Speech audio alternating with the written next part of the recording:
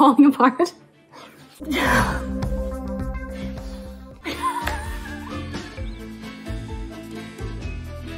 oh no!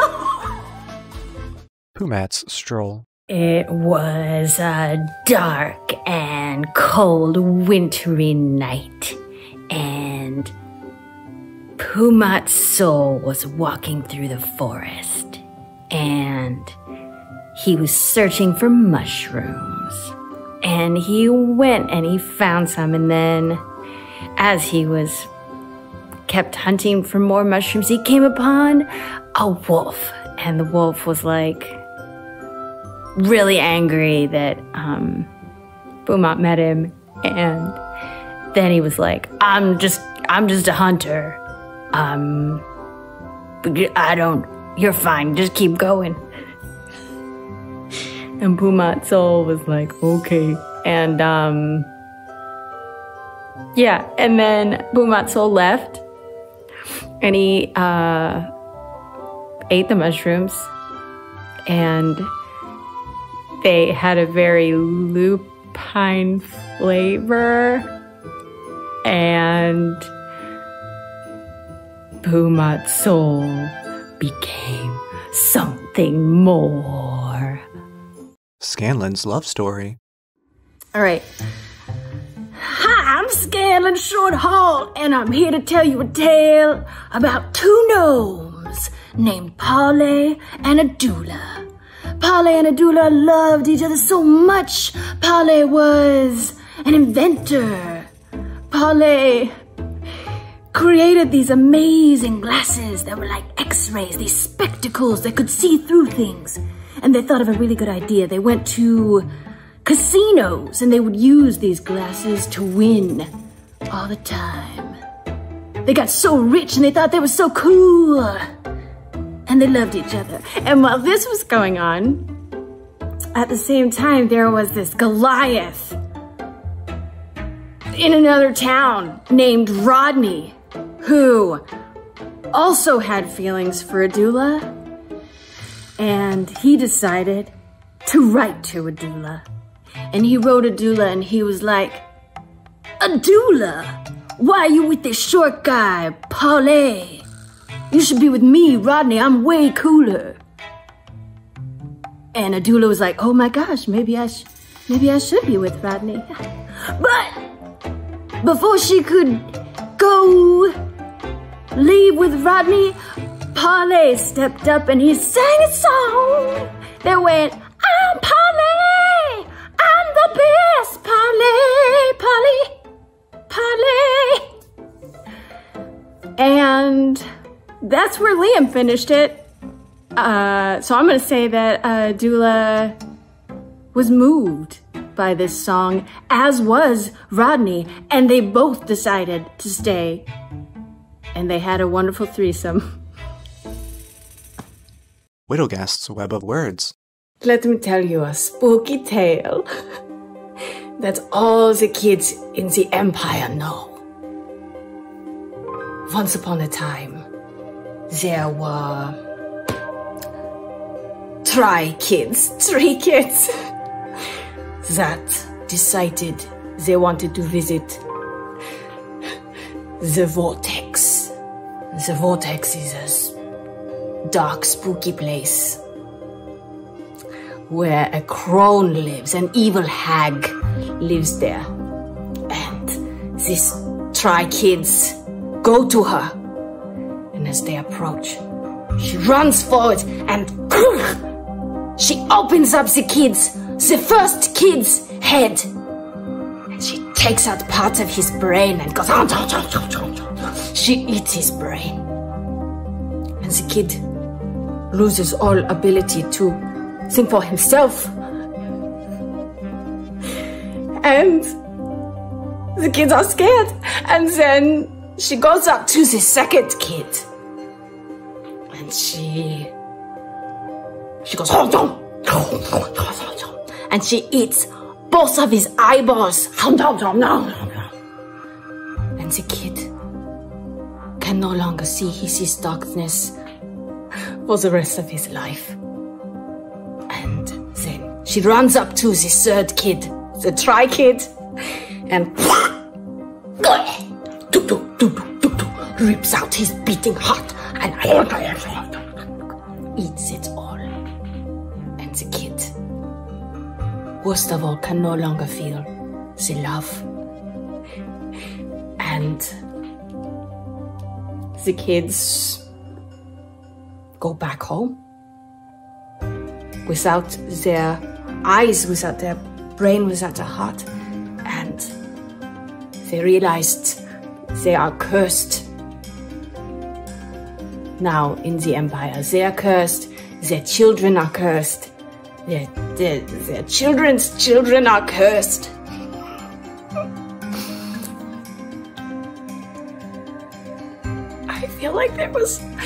Point to it, I don't remember.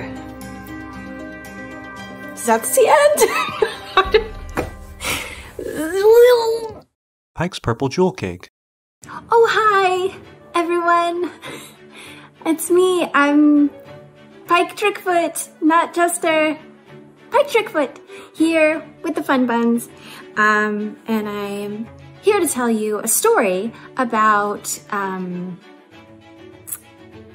oh no. and I'm here to tell you a story that is known throughout Exandria.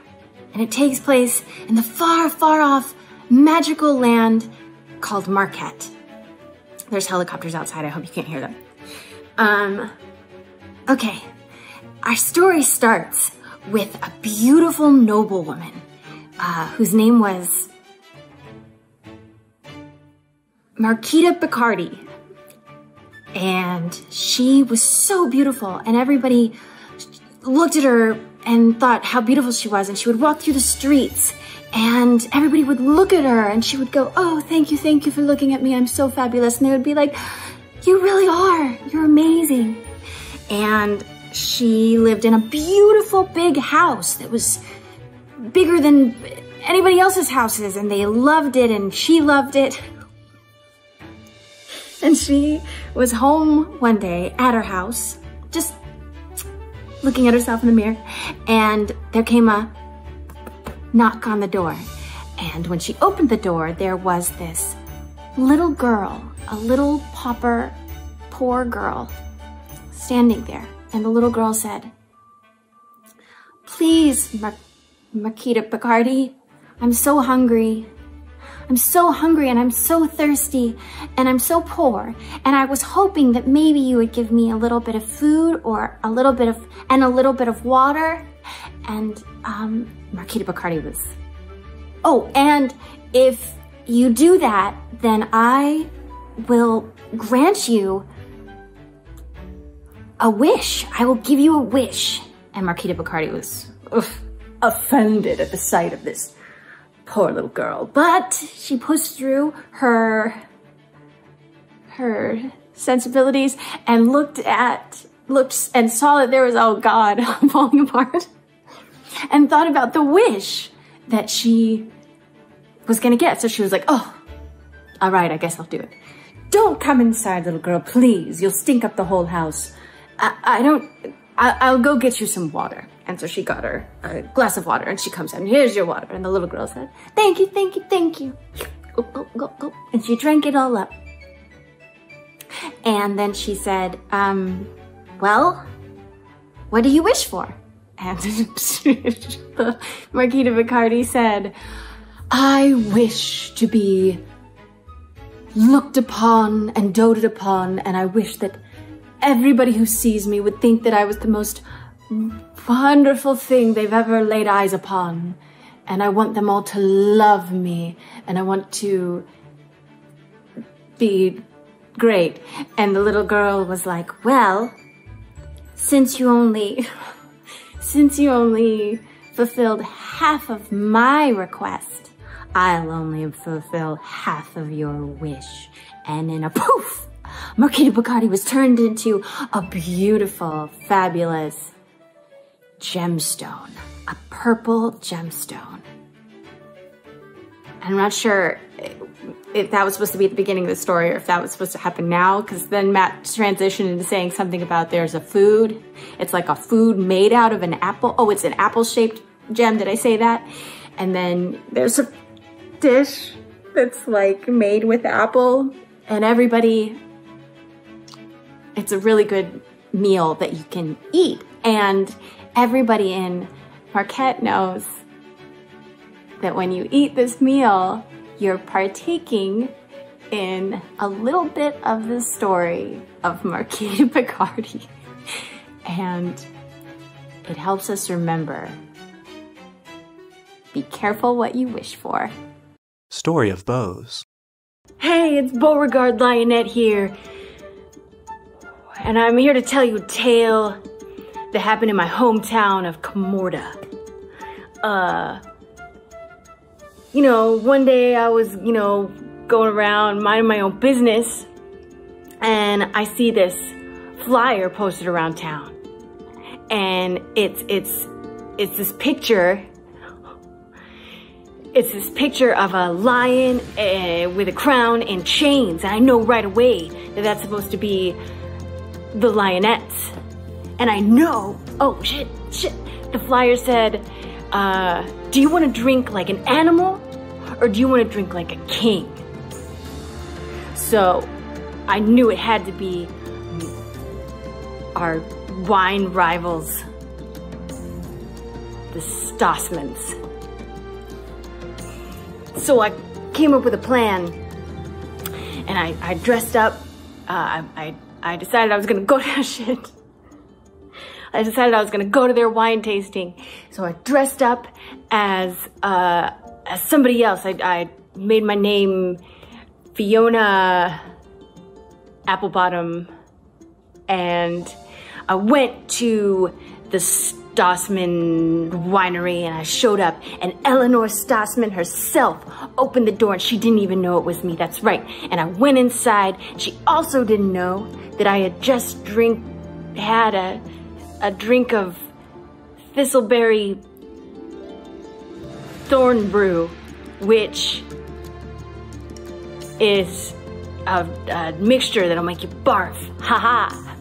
so I went in and she she gave me the tour herself. She didn't even know. She walked me around the whole winery. She took me to see her giant steel drums where they had the they were making the Zinfandel and right when I got to the the drums I, I barfed all over, I barfed up my haggis lunch all over all the steel drums. And I was like, hey, fuck you, the Lionetts are the best. And, and then all of the guards, she yelled, guard! And all the guards came running in and I pop, pop. And I gave the first guard a haymaker and then pop, pop. I laid out the second guard and I flipped him all the bird and I ran all the way home and my dad wasn't too pleased with uh, with me doing that, with contaminating everything. But hey, who's gonna argue with with the results? And we never saw the Stossmans post another flyer. Caduceus's Cautionary Chronicle. Caduceus Clay here to tell you a spooky tale about the th three of my siblings, Calliope, Colin, and Clarabelle Clay. the Clays were carting the corpse of a cleric named Arkhart, seeking to place him at rest deep in the heart of the blooming grove. As they wandered through the grove, cleverly cascading through the canopy, uh, they heard a voice in the woods. Clarabelle. The second person is supposed to be good. I'm being really bad. Calliope heard a voice calling, Come and she heard she was on edge. Low power mode. Oh God. She went into the woods and chased it down, looking for the source. And she was gone for a while. And Colin then stepped up and he said, We're carting this cleric, our cart, through the woods. Perhaps it's the cleric's. Fucking. It's the cleric's.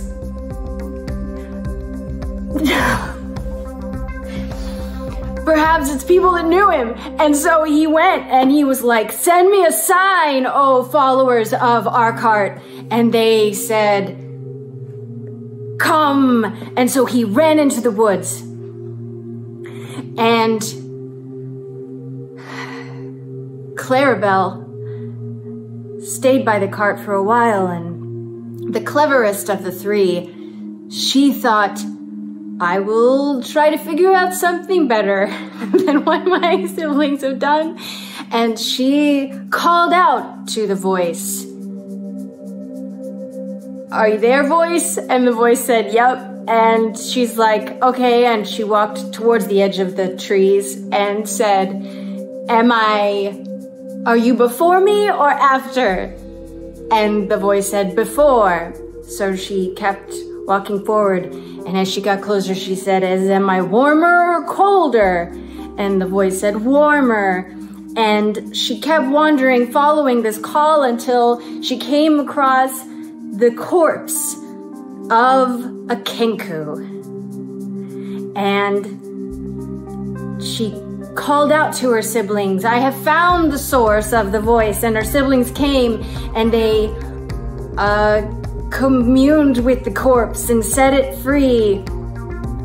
And her siblings were like, How did you? I was Clay. I was Caduceus at one point in this story. Her, sib- her siblings were like, How did you know what to do? And she was like, Calliope, you only heard danger. And Colin, you only heard a sign. But I only heard the voice of someone who was lost.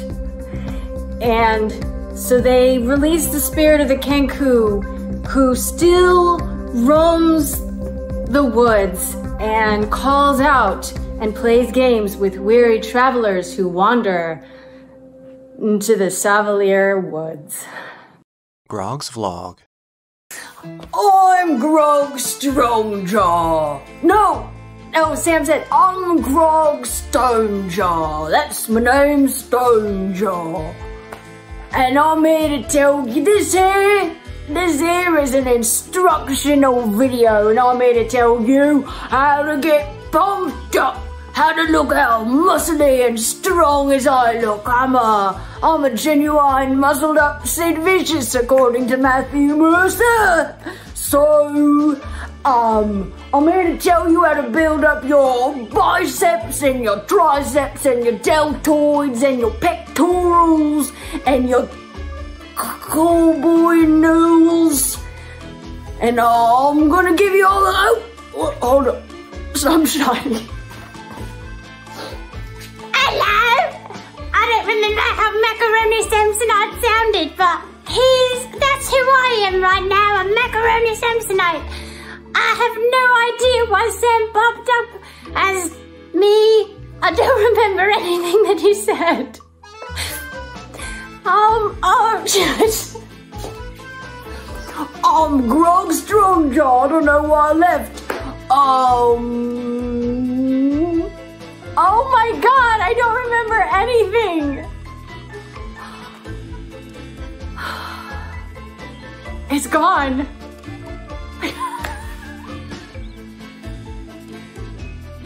oh no. Was that the end? That can't be the end. For more content like this, just remember to like, comment, and prescribe.